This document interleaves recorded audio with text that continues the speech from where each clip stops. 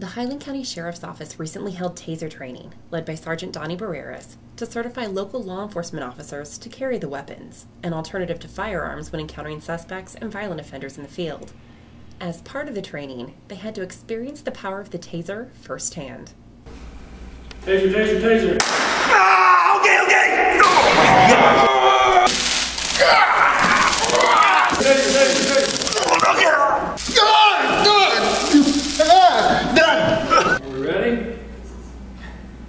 Go. Taser, taser, taser.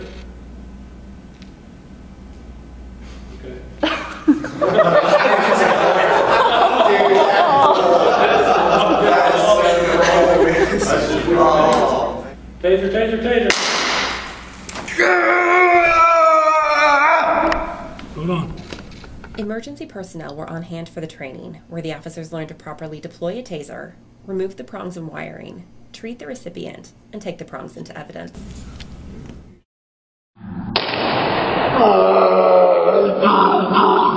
Oh.